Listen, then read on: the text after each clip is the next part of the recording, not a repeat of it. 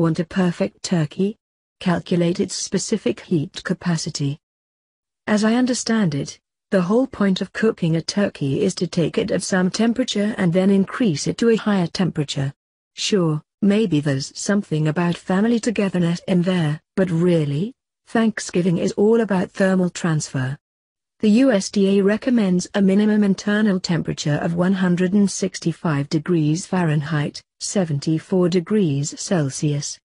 I guess this is the minimum temperature to kill all the bad stuff in there, or maybe it is the lowest temperature that it can be and still taste great. Either way, if you want to increase the temperature of the turkey you need to add energy. Perhaps this energy comes from fire, or an oven or even from hot oil, but it needs energy. But be careful. There is a difference between energy and temperature. Let me give you an example. Suppose you put some leftover pizza in the oven to heat it up. Since you don't want to make a mess, you just strip off a sheet of aluminum foil and put the pizza on that and then into the oven. The oven is set to 350 degrees Fahrenheit so that after 10 minutes, both the pizza and the foil are probably close to that temperature. Now for the demonstration. You can easily grab the aluminum foil without burning yourself, but you can't do the same to the pizza. Even though these two objects have the same temperature, they have different amounts of thermal energy.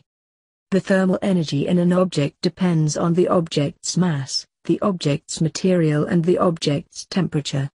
The change in thermal energy for an object then depends on the change in temperature. In this expression, m is the mass of the object and the variable c is the specific heat capacity. The specific heat capacity is a quantity that tells you how much energy it takes to 1 gram of the object by 1 degree Celsius. The specific heat capacity of water is 4.18 joules per gram per degree Celsius. For copper, the specific heat capacity is 0.385 Jg per degree Celsius. Yes, water has a very high specific heat capacity. But what about turkey? What is the energy needed to heat up 1 gram of turkey by 1 degree Celsius? That is the question I want to answer. Oh sure, I could probably just do a quick search online for this answer, but that's no fun. Instead I want to calculate this myself. Here is the basic experimental setup. I am going to take a turkey breast, because I am too impatient to use the whole turkey, and put it in a known amount of hot water. I will then record the change in temperature of the water and the change in temperature of the turkey. Of course, this will have to be in an insulated container such that all of the energy that leaves the water will go into the turkey.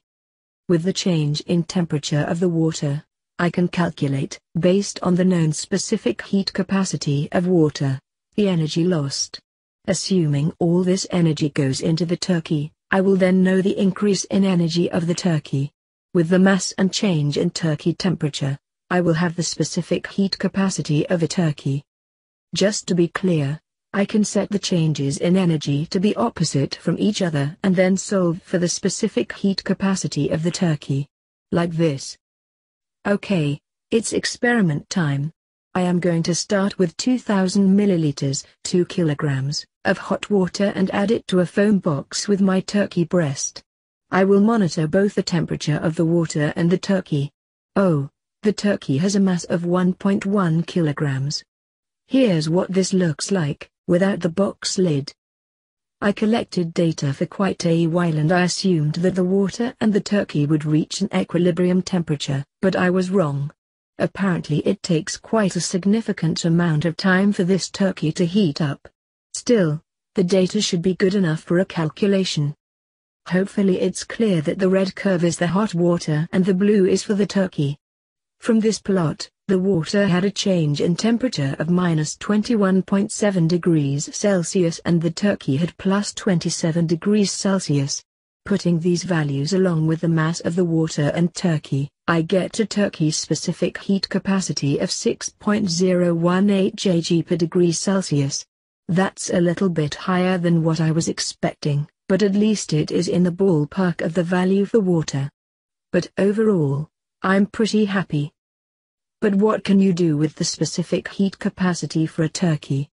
What if you want to do a type of sous vide cooking in which the turkey is placed in a vacuum-sealed bag and then added water at a particular temperature? Normally, the temperature of the water is kept at some constant temperature. But what if you want to start with hot water and cold turkey and then end up with perfect temperature turkey? In order to do this, you could calculate the starting mass and temperature of water that would give you the best ending turkey temperature. I will let you do this as a homework assignment. Of course there is another way to cook a turkey. You could drop it from some great height such that it heats up when it lands. Oh, wait, I already did this calculation. Calculation.